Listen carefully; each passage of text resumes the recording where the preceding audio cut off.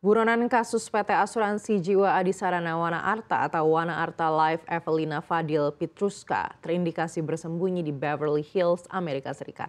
Setelah empat tahun lebih menunggu dan masih belum menemukan jawaban atas permasalahan yang dihadapi, salah satu nasabah Wana Arta Life mengaku rela bertandang ke California, Amerika Serikat demi bertemu Evelina Pitruska. Dalam tayangan video yang diterima CNBC Indonesia, nasabah tersebut mendatangi kompleks perumahan mewah di Beverly Hills, California. Namun nasabah tersebut dihadang oleh Satpam Komplek. Nasabah Wana Arta Life sempat diinterogasi mengenai tujuannya berkunjung.